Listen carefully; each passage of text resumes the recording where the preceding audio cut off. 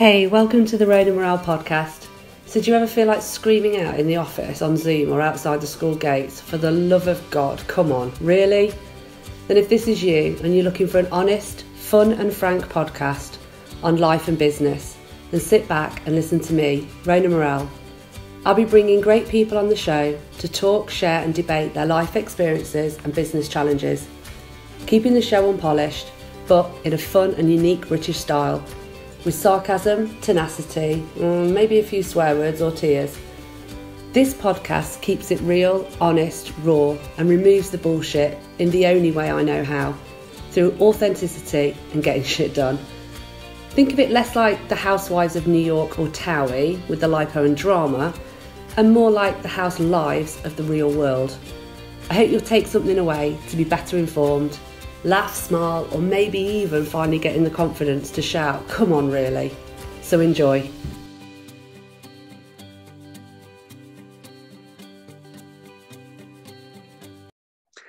Hi, Erika. Welcome to the Rhona Morrell podcast. How are you? Thanks, Rhonda. Hi, I'm good. Good. Excited to be here. Excellent. So, for oh, I'm just kicking bins under my desk.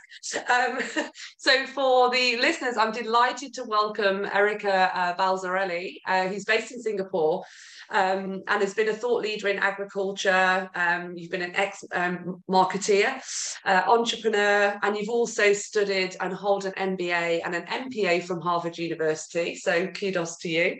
Um, I know that you've worked all across Europe, Asia, and Africa, and your passion very much is around developing and implementing impactful projects in climate change uh, with a focus on smallholder um, farmers.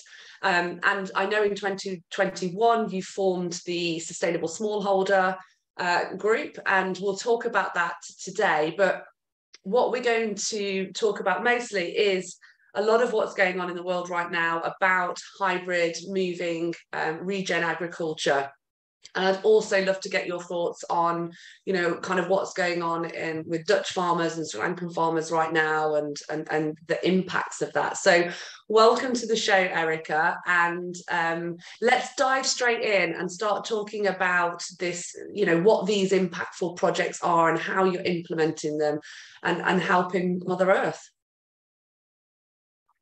Um, yeah, so the sustainable smallholder basically works with uh, organiz- solely works, I should say, with organizations that have at the core uh, the transition for smallholder farmers to sustainable systems. Sustainable defined as socially sustainable, economically sustainable, and environmentally sustainable.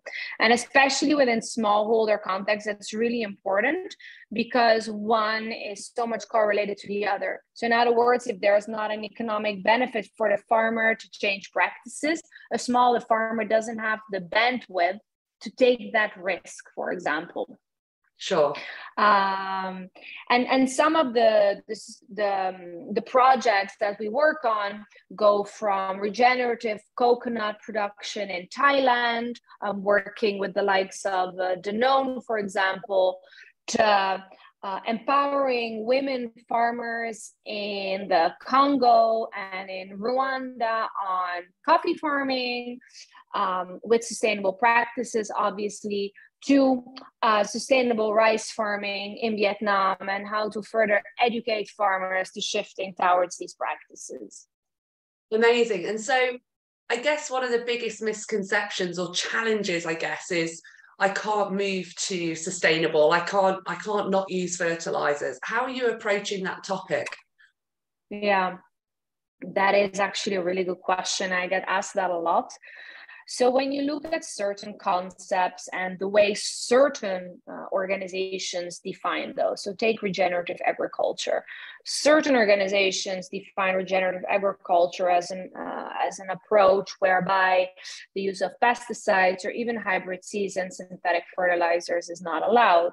Whereas other people define regenerative agriculture in a, I would almost say, softer way, whereby it is important to minimize uh, the use of, for example, synthetic fertilizers uh, in order to increase soil health and soil fertility. So I've taken that example because personally, and with, with the Sustainable Smallholder Organization, uh, we actually believe in a softer approach when it comes to transitioning smallholder farmers. And the reason is very simple, is because the smallholder farmer doesn't have the information, neither the knowledge, neither the financial bandwidth and neither the uh, appropriate behavior, I would say, to shift from one season of conventional farming to another season of regenerative farming. The risks are too big. And so, the way I have seen things work is a journey of transition, whereby, for example, synthetic fertilizers are still used, but they're used less and they're compensating by, for example, manure or making our own compost that is made by by the farmers. Or overall if the soil after three to four seasons is healthier then by itself you do not have to use as many synthetic fertilizers. No of course. And i think there's there's such a big um task at hand, isn't there, with the global chemical fertilizers? It's a bit like sort of big oil and pharmaceutical, and, and equally that you know drugs cartels. It's such a huge industry, and the information and the lobbying that comes out from those large companies. So I think it's really great that it's a little bit hand holding, hybrid, and transitional because like you say, they don't have the scale or infrastructure to be able to just turn things. And I think that's probably some of the challenges that's going on in Sri Lanka right now is that they've tried to do a hard stop, haven't they? And that's yes, uh, Rana, that's exactly it. So what they the movement was already uh, in the work since since five six years. Uh, but then they did a hard stop about uh, three years back, if, if I remember correctly. They shifted to fully organic uh, which is also debatable what that means, fully organic. But within rice, for example, I know that fully organic truly meant no synthetic fertilizers, no hybrid seeds, even, and no pesticides whatsoever. Um, they the the economic or the business case, I should say, and the economic assumptions behind it were that yes, the yield would be impacted short term, but because of the price premiums on the market, for example, for sustainable rice, as, as um, certified by, for example, the Sustainable Rice Platform standards, they would get premiums in the market. Hmm. But as as as usually happens, uh, when you are dependent on premiums, you're dependent on consumer behavior. And when there are things such as high oil prices, prices of food increasing, especially now with the Ukraine crisis and everything as such, consumers um, the first thing they actually stop spending on is those type of premium products. And they go back to if you want to call it uh, normal rice or normal wheat products and so forth. And that is actually what happened in in sri lanka. Um, they didn't get enough premiums and the yields went down much more than they had uh, anticipated and at the same time, what happened is the government was not well equipped to actually um, put money and resources and the agronomy extension service um, to have them ready to actually transition the farmers towards other, let's call them sustainable practices, whether these are regenerative, climate smart, whatever you want to call them. Actually, that was not there, not enough. And that is what, what happened and has been part of the I would say has been a big influencer within yeah. the um, economic and political collapse of the country. Because some of the basics of food, um, especially when it comes to wheat, bread, rice, all of those things, it's been really interesting, even here in the UK.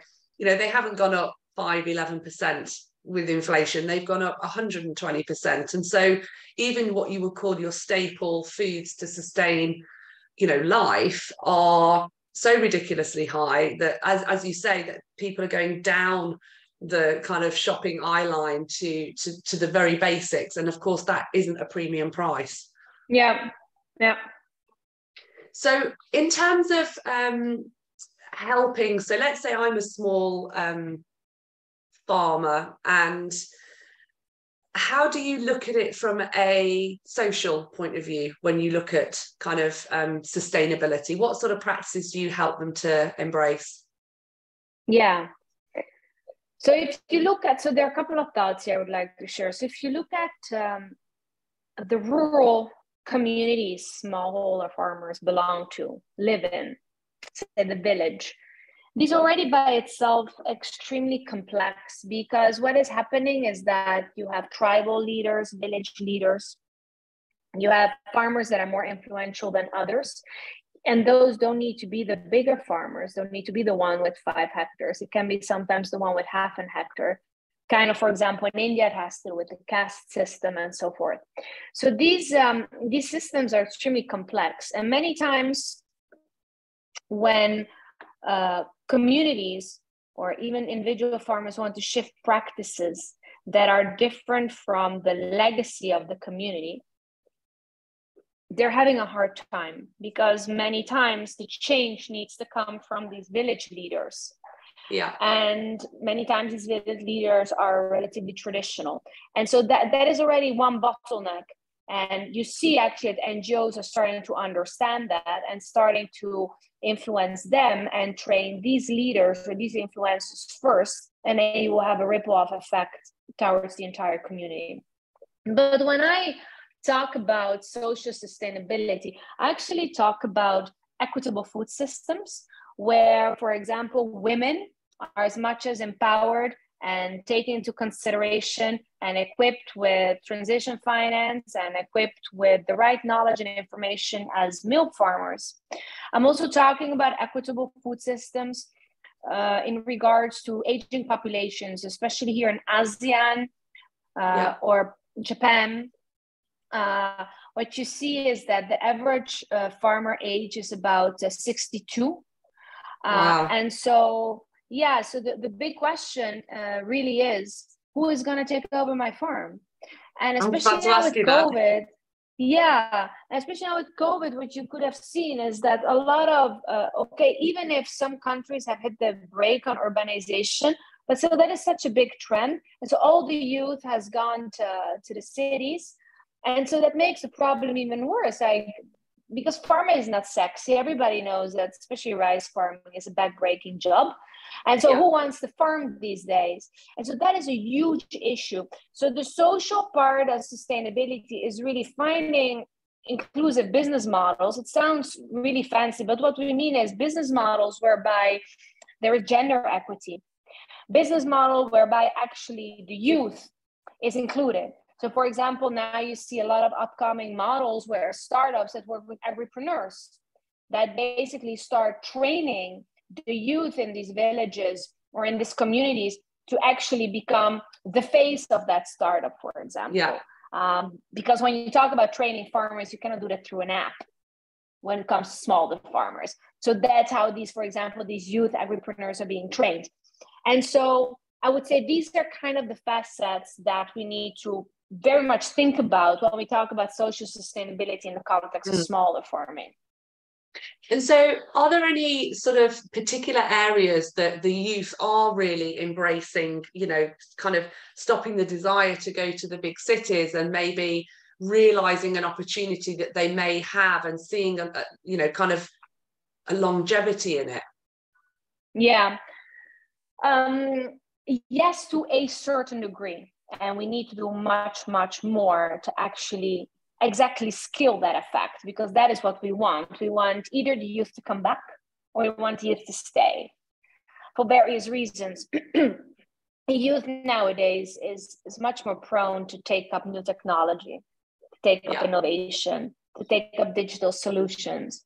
A 61 year old farmer has got a, a bigger, um, I would say, challenge with having his farm sprayed by a drone versus a 25 year old who thinks it's cool and who exactly sees why that is important or yeah. receiving information or nudges of information through an app it's easier for a 25 year old than for a 61 year old again on average without you know trying to discriminate here uh, and so you you see already that a lot of uh, new business models driven by startups um, in for example india they have a lot of success and actually youth is going back because they see it as a profitable business opportunity. So that's the whole point. Farming needs to become sexy again and profitable.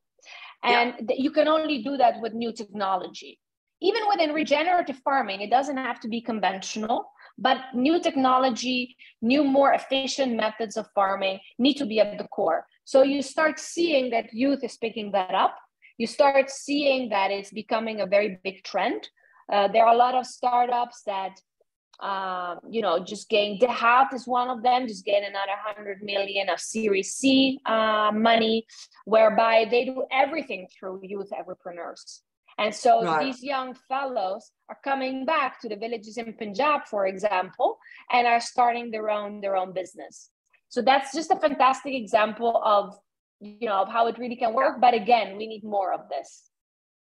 And and how are the smallholders that you know that you're dealing with coping with this exponential rise in fertilizer costs? Are they now starting to see that actually as we drive more health in the soils and we need less that that in itself is the obvious benefit? I mean for some farmers they can probably afford one bag and and that's literally I I've I've heard stories of it being stolen and have to have it hidden. How are they coping? Yeah. Um, so I was recently in the field. I was in Cambodia, and I was asking them the same question, but actually I didn't even have to ask them the question. It came up immediately. Uh, so prices have quadrupled in six months. Quadruple. So smallholders were already having an issue with finding enough money to buy fertilizers. Uh, so imagine now. So what is happening? Actually, you see a lot of land that is uh, idle. So they stopped. Uh, they stopped working their land just because they didn't. Uh, they didn't have the money. Uh, suicide rates are going up because yeah. you always actually see that it's extremely sad. You see that there is a huge correlation of uh, small so, smallholder farmer suicidal rates and oil prices and fertilizer prices. Um, and basically, they're not able to cope. Uh, yeah. That is that yeah. is the short answer. And so you see a lot of uh, NGOs that are actually uh, coming to the rescue but they cannot come with fertilizer because there is a shortage. So so what you see is that what what is accelerating at the moment is the training on practices such as what you were alluding to make your own composting practices manure. So for example you see a lot of ngos giving ducks away to farmers so that farmers can start doing duck rice rotation which is by the way uh, very successful uh, in India as well, we see that a lot of farmers are taking up um, um, a concept that is called uh, zero budget natural farming, where right. basically they can make their own um, they can make their own fertilizer using cow dung and cow urine and, and certain other uh, materials, which, yeah. by the way, work really well. And um, and are, are, are good for the soil uh, at the same time. Um, so all of this is kind of in a way reassuring because what is happening is it's accelerating the transition that we were talking about at the beginning. Yeah. However, it's still very sad and very complex because what is happening is that um, this was not well planned for. And so government extension services are not ready to help, or they, they, they not because they don't want to, but because it was unplanned. It was right. not in the resource planning. Um, yields are still dropping. Uh, that is why in APEC they are expecting a food security crisis, especially on rice.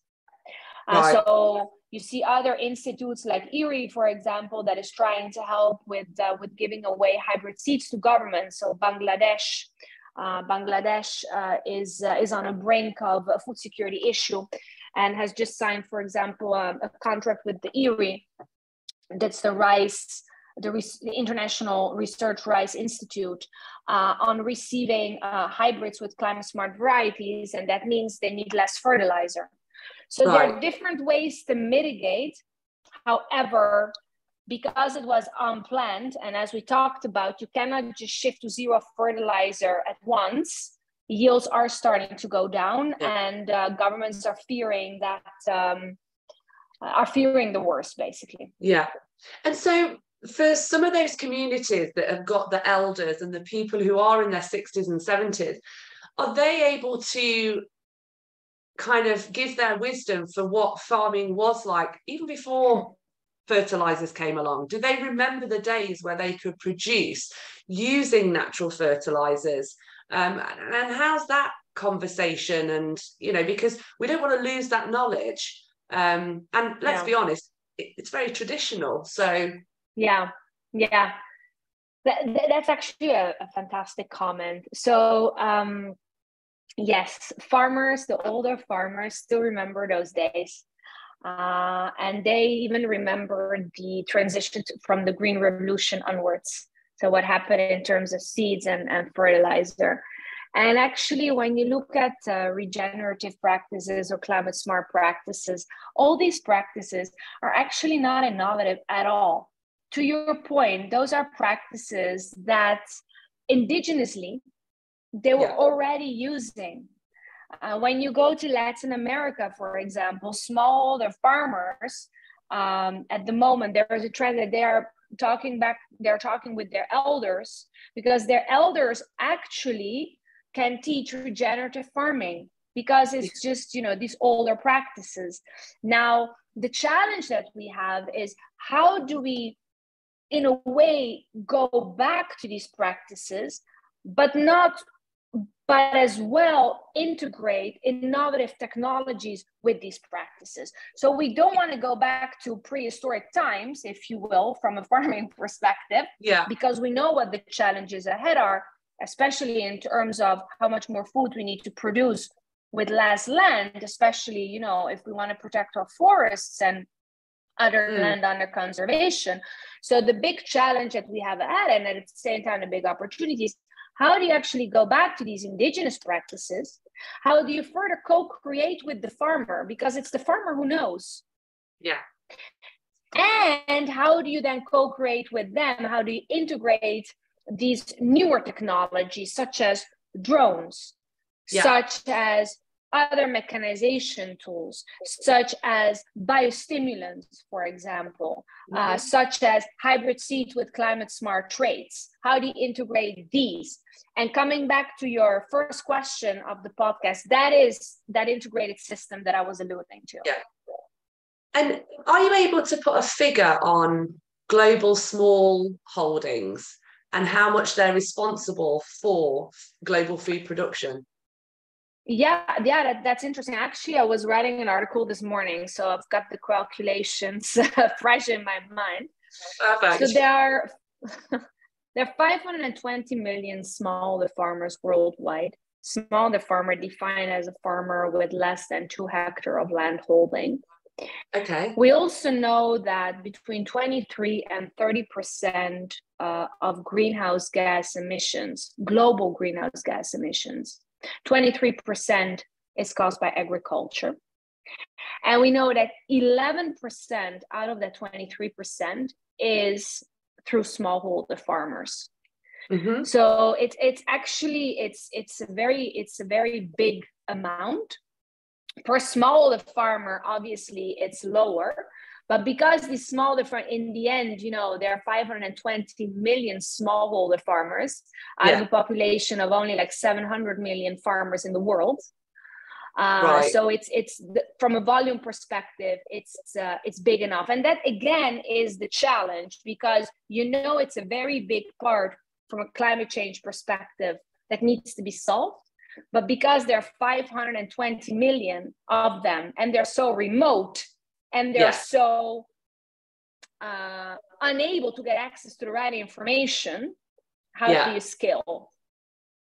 No absolutely. And, and how do you find the challenge? You know i i i I look at England and I, I think, well, we were the Amazon not so long ago, and we've chopped it all down, and we've got farms absolutely everywhere. So there's a lot of pressure now on those countries that have got land left and you know taking out our biodiversity and land how how much pressure is on those small holders to not grow in in size and space um yeah versus that that challenge with our biodiversity loss?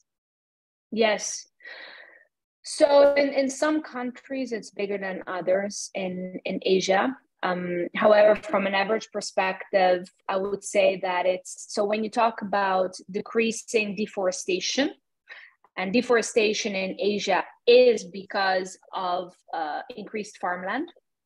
Yeah, it's now top top priority for governments. Every time you go to, uh, especially after COP26, by the way. So every time you hear the Minister of Ag or the Prime Minister speaks deforestation uh, and and stop of biodiversity loss, it's it's top of the agenda, which is new because you wouldn't hear this five years back. Yeah. Um, on the other hand, though, it, it's also interesting to note that what is happening is farmland is it is increasing, but what is happening is there is a lot of consolidation happening at the same time mm. at the farmer level. So what which is actually a good thing in a way. What you see is that land sizes are getting uh, land holdings, I should say, are getting bigger. Right. So a lot of farmers, because of age or because they don't know who, who else, you know, can take over the business, which are the more negative reasons, I should say. But other the, the more positive reasons is what you see is the big farm, the big farmers are starting to consolidate, so buy the farmers out, which is actually not a bad thing at all. And so what you see, especially in China, for example, this is a huge trend. So average sizes have gone up to 50, 100 100 hectare farms right. without and and so what is nice is that then gives uh, gives space to having more intensive farming still mm-hmm. from a sustainable perspective though. But because the land is as well congruent you can mechanize you know you can be much more efficient in the way you land uh, in, way, in the way you farm. So from an economic and environmental perspective it's much better and at the same time it kind of starts stopping deforestation because you don't need more land because what you're doing is you do more from less. You do more from the same amount of land. Uh, so, so what you see is governments are starting to put policies actually in place to increase this consolidation efforts so, how does that then leave the existing farmer? So, he's probably thinking, I'm just going to sell out, and it's a one lump sum. I mean, that in itself isn't sustainable. Or are they buying up the land and then still employing those existing farmers to help work the land? It depends. I've, I've seen I've seen both happen. Uh, I've seen uh, farmers being bought out. Um, and having enough actually to to live a good uh, a good uh, uh, good end, end of life if you will because these farmers are usually older uh, I've seen as well the negative side of it. I've seen, uh, especially in some parts of China, uh, the small farmer being bought out for for not such a good amount of money. Uh, and now these farmers have gone to the city and, and back into kind of labor jobs, daily labor jobs. I know the government is trying to put policies around that to protect that from, or yeah. to prevent that from, from happening as much as possible. Um, and um, and I've also seen whereby the big land owner, if you will, still employs the, the farmers because okay this person who usually is a man um, will not farm by itself. So this person yeah. still needs uh, he still needs some laborers, and many times it's it's it's it's the farmer. Yeah. And what's your view on companies that are looking to produce natural fertilizers and take on the chemical fertilizer industry? You know, rock powder. There's um, the, the like yeah, you say, various yeah. technologies, but ultimately using what is um, existing waste from one place, adding a bit more waste, and creating a, an incredible fertilizer. So, what's your yeah. hopes and dreams for the supply of, of, of those products? Yes, um, I think it's a fantastic thing.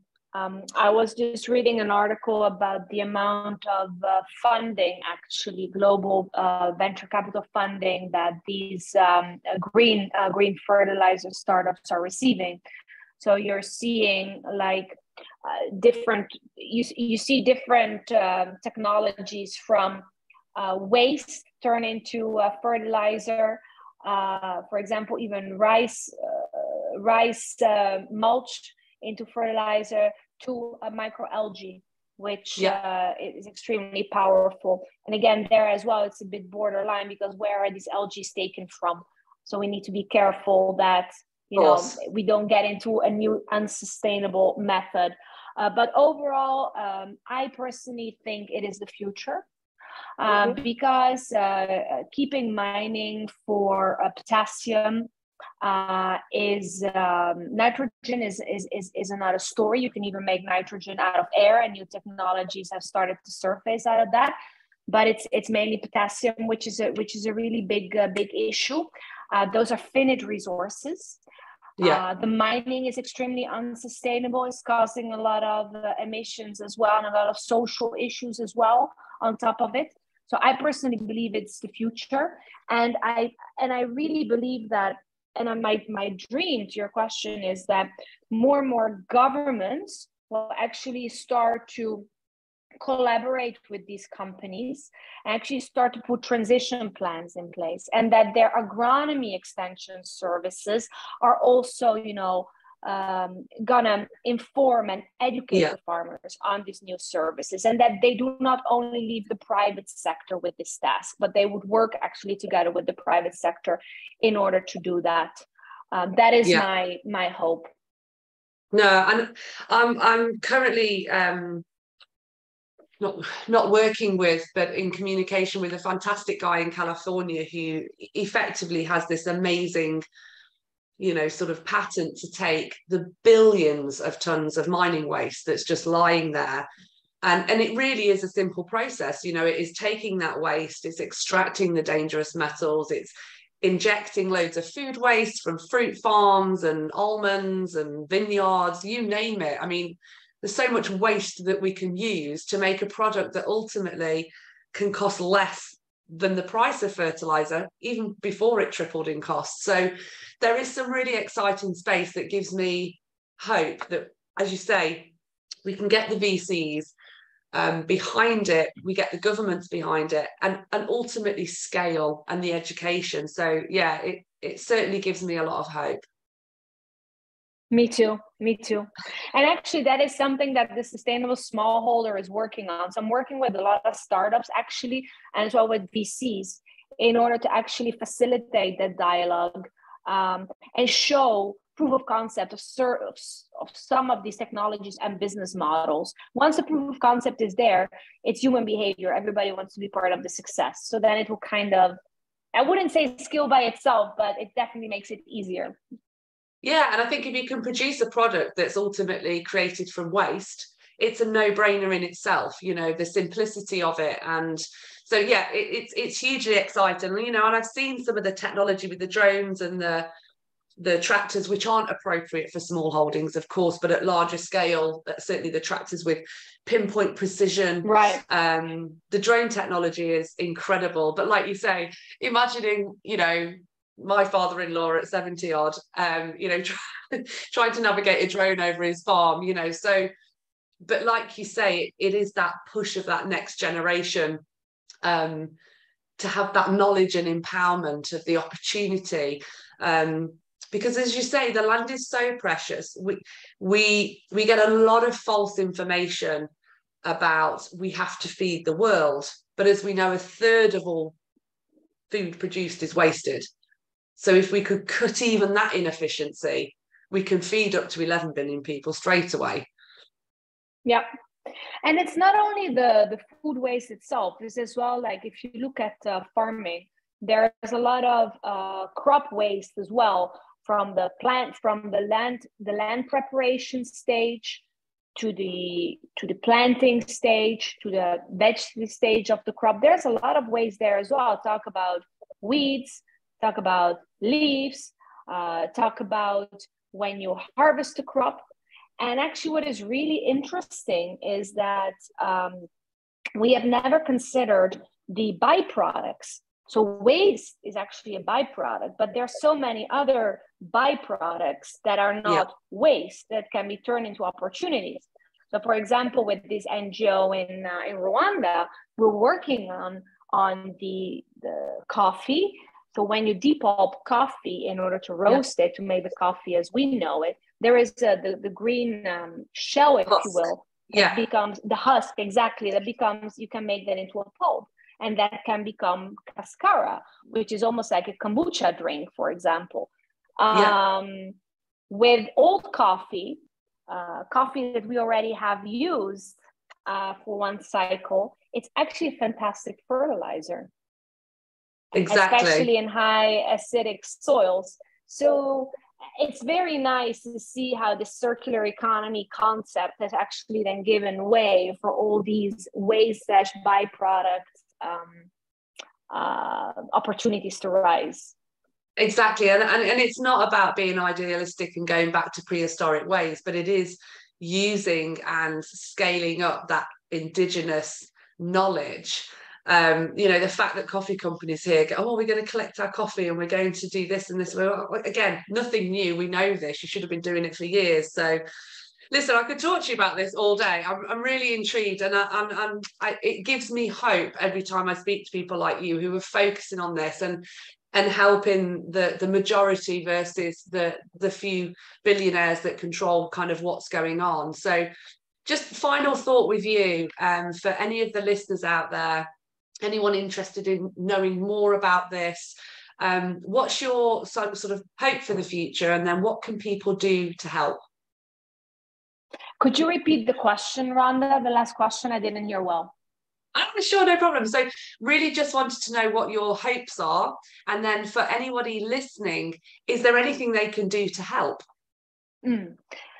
So, my hopes is that the the voice of the smallholder farmer is going to be much more heard than today. In other words, every time we speak about an innovation for small farmers or we have a problem why don't we go out and listen to the smallholders involve them and co-create with them for yeah. some it sounds ironic because they think that that's not possible actually it's very much possible because it's them who know a lot about the land the crop and many of them still have that indigenous knowledge that you were referring to.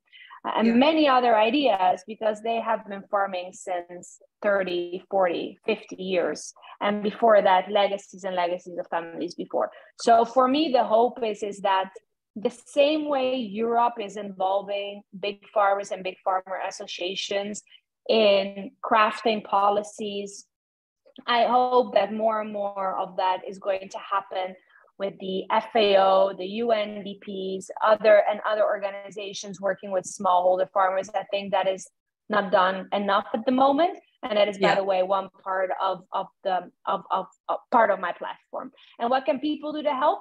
People can exactly do that to help.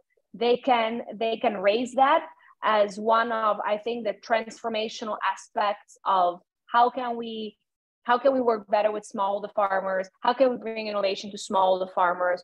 Well, raise the point, get your feet dirty, go and speak to these farmers, yeah. listen to them, tell governments or in whatever job you are, the private sector, tell them to, to take a trip to the field. And already after having spent two days with them, you will see that already that is part of the solution. The solution will already yeah. be there. Amazing. I love that. It's it's about, you know, get your feet dirty and just spend a day with a farmer, like literally side Absolutely. by side. Absolutely. I will definitely yes. do that. I have to, I actually to be fair, I have done that and um have been in very remote remote um, parts of the world. So listen, Erika, thank you so, so much for your time. It's been incredible to talk to you and learn more about the sustainable um, smallholder company that you've set up and what you're doing. So kudos, thank you, and I wish you every single bit of success. Thank you very much, Ron. It has been a pleasure, and I feel honored that uh, that you wanted to speak to, to me and, uh, and, and learn more about the sustainable smallholder. Thank you. You're welcome. So that's it. You've made it. The show's over. Thank you for being with us. I hope you've been able to take something away, maybe solve a problem, or just know you're not alone. Here's hoping it made you smile with a few laughs along the way. Please feel free to find me on all social media channels, and you can subscribe to my YouTube channel just search the Rhona Morrell podcast. Have an awesome day and see you next time.